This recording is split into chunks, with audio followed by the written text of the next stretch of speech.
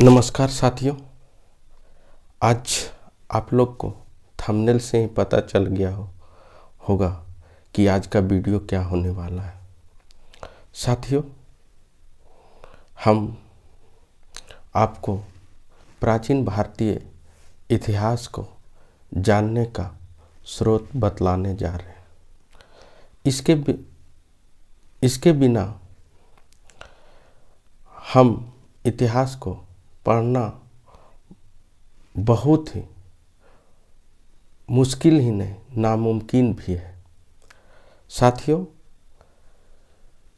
हम साइंटिफिक आधार से सोचें तो यदि कोई भी केमिकल्स या कोई भी मेटल्स या कोई भी वस्तु को बनाते हैं तो उसमें क्या क्या चीज़ की ज़रूरत होती है, उसका पूरा हमें डाटा रखना पड़ता है। उसी प्रकार हम प्राचीन भारतीय इतिहास को पढ़ते हैं तो हमें भी डाटा के बिना ये प्राचीन इतिहास को पढ़ना मुश्किल हो जाता है।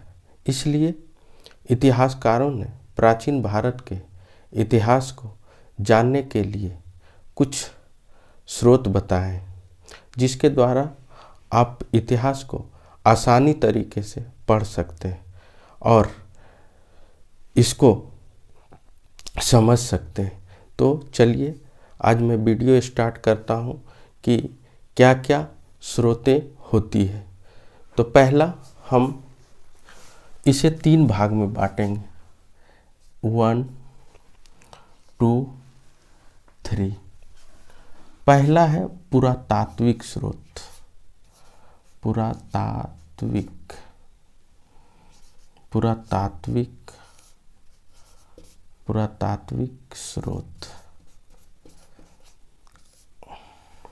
दूसरा है साहित्यिक।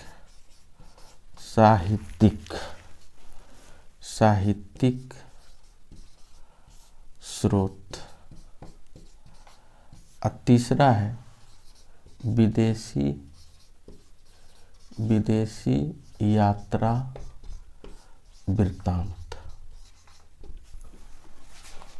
साथियों, प्राचीन भारत के इतिहास को पढ़ने के लिए तीन स्रोत का होना बेहद ही ज़रूरी है, जिसमें पहला स्रोत पुरातात्विक स्रोत, दूसरा स्रोत साहित्यिक स्रोत और तीसरा स्रोत, विदेशी यात्रा वृत्तांत तो सबसे पहले मैं पुरातात्विक स्रोत में, पुरातात्विक स्रोत में हम पहले अभिलेख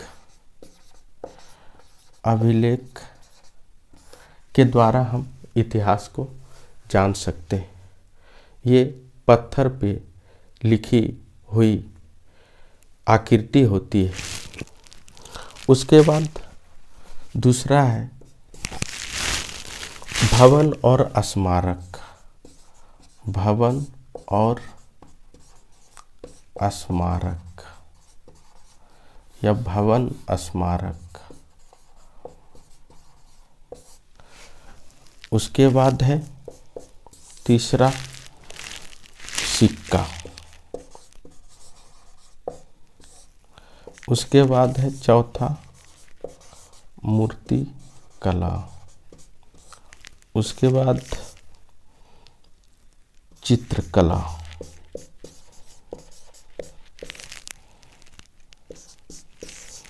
अवशेष। साथियों, प्राचीन भारत के इतिहास के स्रोत के रूप में, पुरातात्विक स्रोत में यदि हम पढ़ेंगे तो पहला है अभिलेख। दूसरा, भवन स्मारक के द्वारा। तीसरा, सिक्का के द्वारा। चौथा मूर्तिकला के द्वारा। पांचवा, चित्रकला के द्वारा। छठा, अवशेष के द्वारा। हम प्राचीन भारतीय इतिहास को आसानी की तरह से पढ़ सकते हैं। लेकिन ये सबको जानना बेहद ज़रूरी है। उसके बाद साहित्यिक स्रोत। साहित्यिक स्रोत में हम दो तरह के साहित्य पढ़ते हैं। एक धार्मिक साहित्य और एक धर्मेतर साहित्य।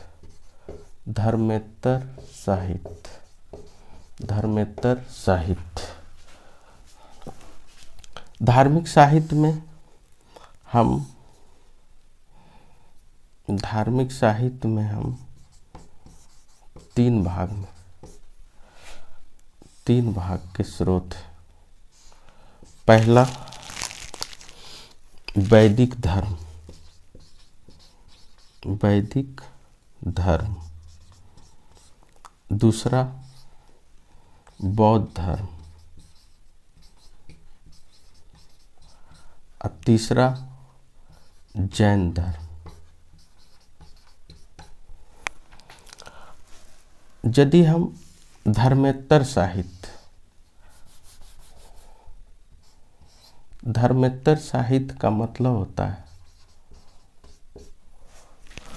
धर्म से धर्म से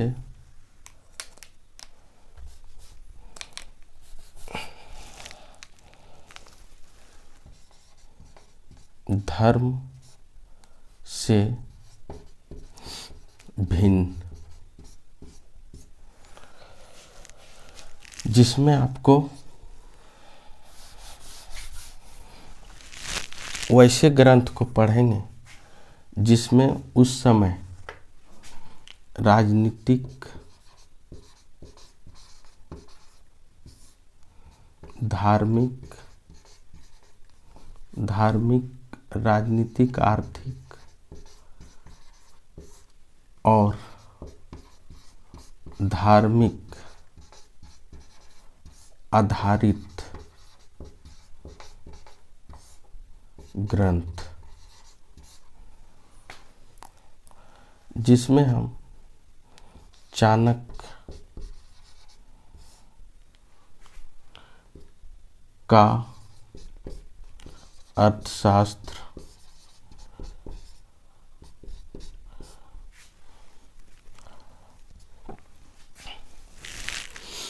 धार्मिक साहित्य में, साथियों, हम दो तरह के साहित्यिक स्रोत में हम दो तरह के स्रोत बांटते हैं। एक धार्मिक स्रोत, एक धर्म, धार्मिक साहित्य, एक धर्मेतर साहित्य। जिसमें धार्मिक साहित्य में हम वैदिक धर्म, इसमें बौद्ध धर्म, इसमें जैन धर्म, वैदिक धर्म में हम चार वेद पे, उपनिषद पे, पुराण पे, सबसे पुराण कितने हैं? पुराण सबसे कौन पुराना है? वेद कितने हैं? वेद के ब्राह्मण कौन थे? वो वेद उसका क्या है? उसका पुरोहित क्या है? इस सब पे विशेष चर्चा करें। बौद्ध धर्म में हम, बौद्ध धर्म के सूत पीटक विनय पीटक जैसे ग्रंथों के बारे में जानेंगे। और जैन धर्म के जो उस काल, उस समय के जो ग्रंथ थे जिसके द्वारा जैन धर्म की जानकारी मिलती है, उसके द्वारा हम पढ़ेंगे। धर्मेतर साहित्य कहने का मतलब धर्म से भिन्न मतलब ये धार्मिक है, इससे भिन्न। इसमें मुख्य रूप से उस समय, उस काल के धार्मिक, राजनीतिक, आर्थिक और धार्मिक जीवन पे जीवन पे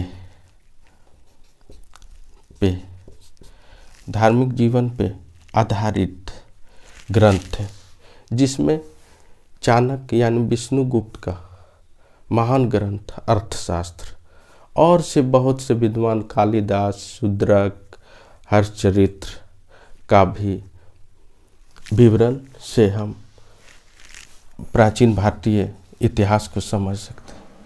तीसरा हम चर्चा करें तो इसमें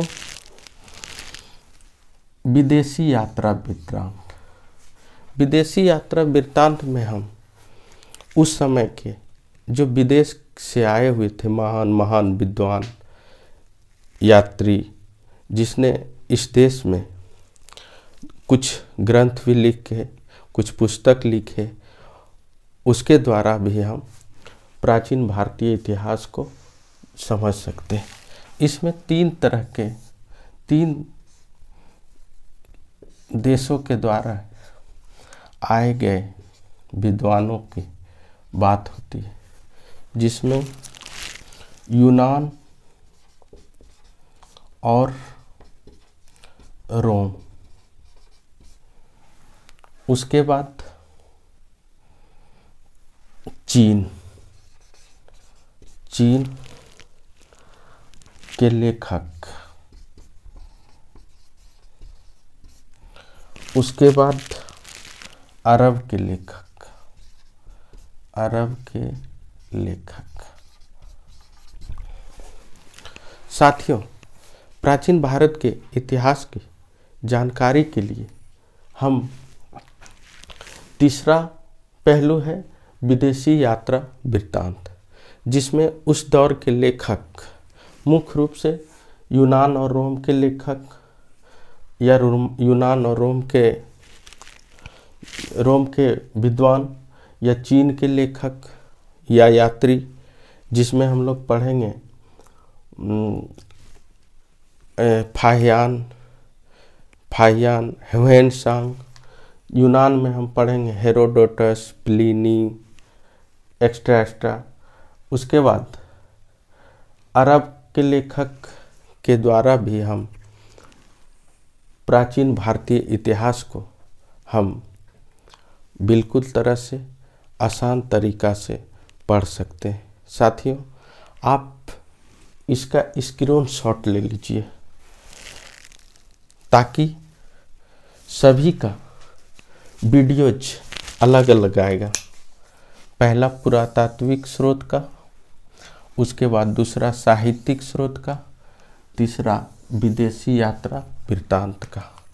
ये छोटा कंपाइल किया हुआ एक एक का थोड़ा थोड़ा बताया हुआ वीडियोज़ मिलेगा, क्योंकि वीडियोज़ काफ़ी लंबा हो जा रहता है। इसलिए आप लोग इसका स्क्रीनशॉट लें और मैं थोड़ा थोड़ा ही एग्ज़ाम के पॉइंट ऑफ़ व्यू से पढ़ाऊँगा। आपको यदि वीडियो अच्छा लगे तो आप like subscribe bell button bell icon bell बजाएँ, ताकि नेक्स्ट वीडियो का नोटिफिकेशन आपको जल्द मिले। हम बहुत ही मेहनत करके हर वीडियो को बनाऊँगा। साथियों, इससे पहले वाले वीडियो में ज्योग्राफी का बनाया था तो उसमें थोड़ा सा एक दो जगह इरर हो गया बोलने में।